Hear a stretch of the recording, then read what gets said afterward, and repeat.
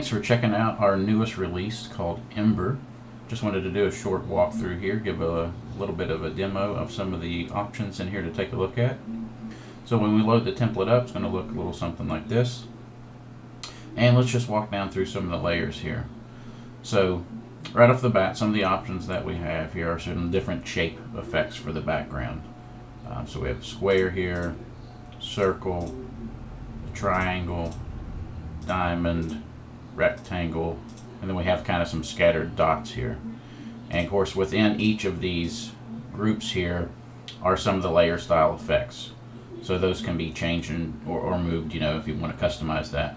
There's also within each of these a color change option. So if, so if you want to colorize the effect, you can do that. Um, right now this effect is set to hue, so it continues to maintain this glowing type of effect.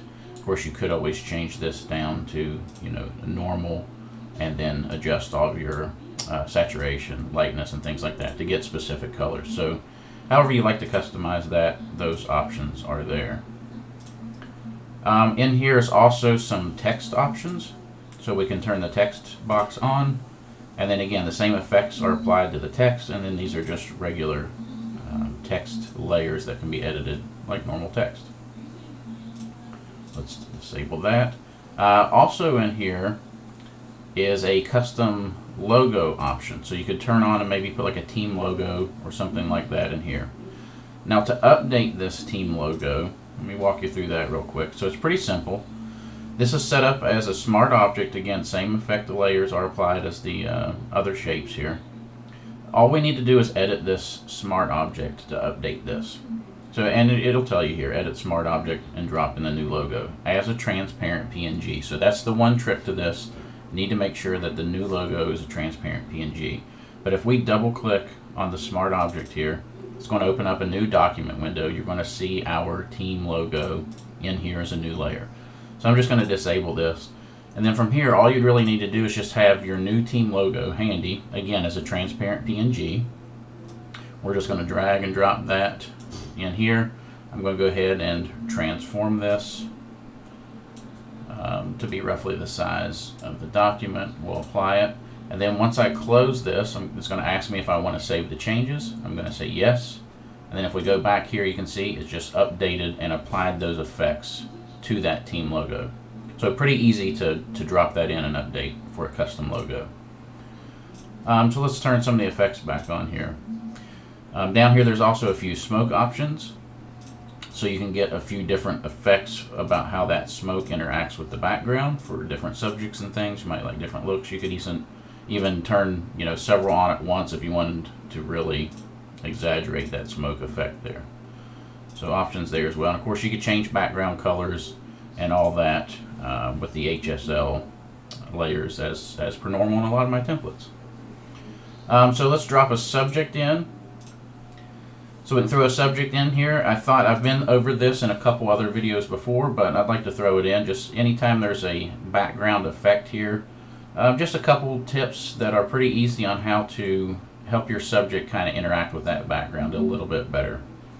And so what we're going to do first is on the subject layer, I'm going to double click out here on the layer to bring up our layer style panel.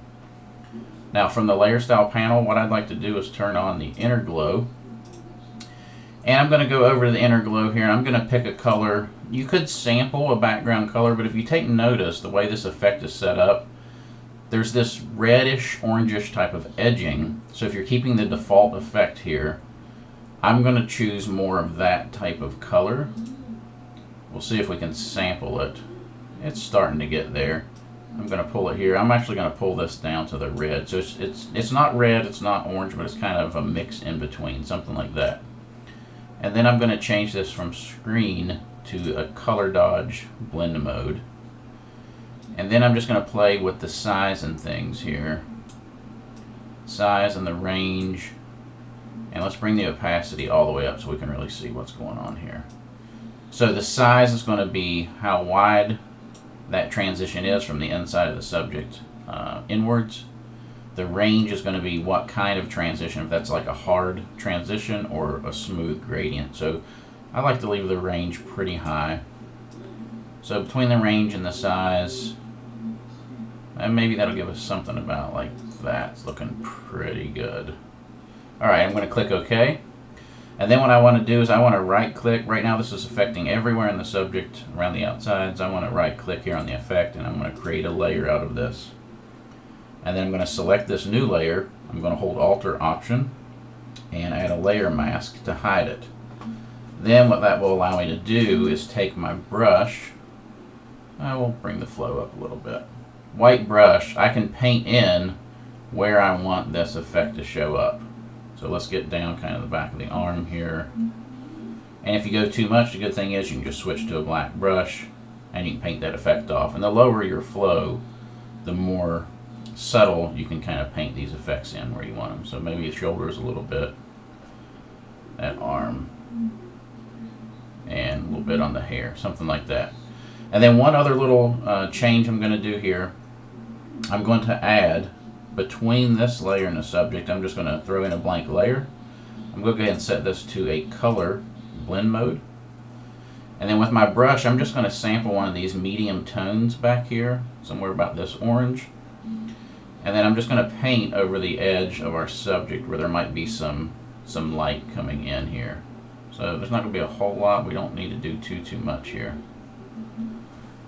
And then one little tweak I'm going to do is just double click on the layer style here. I'm going to work with blend if.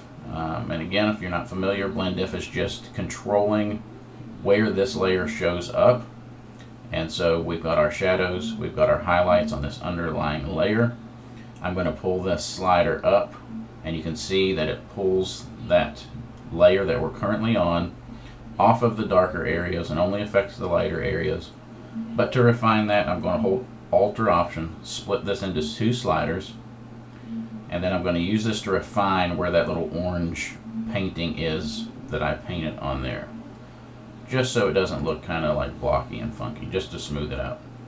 Something like that looks pretty good. I'm going to click OK. And so that's just a couple of little quick effects to just affect that little edge lighting on your subject and it really makes them feel like they're standing in front of this object a little bit more. So there's also some foreground effects that you could turn on with some embry type of effects here. Of course you could color those uh, the same way. And so that's how to uh, kind of little run down through this template here. Hopefully you guys get a lot of use out of this and I hope it makes you a ton of money.